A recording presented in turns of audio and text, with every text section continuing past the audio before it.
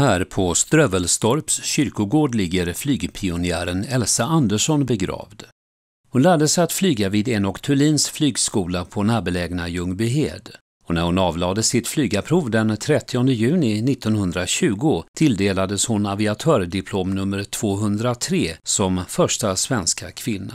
Hon lät också året efter utbilda sig till fallskärmshoppare i Berlin. Vid hennes tredje hopp som skedde den 22 januari 1922 utanför Askersund i Närke gick något fel. Fallskärmen utvecklade sig inte genast hon slog ner i ett skogsbevuxet bergsområde och avled omedelbart vid nedslaget. Fallskärmsolyckan vid Askersund gav stora rubriker på tidningarnas första sidor över hela landet. En minnessten bekostad genom en insamling i Askersunds tidning restes senare på platsen.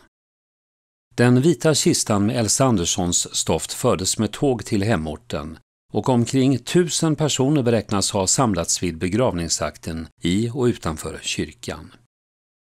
Elsa Andersson blev 24 år gammal.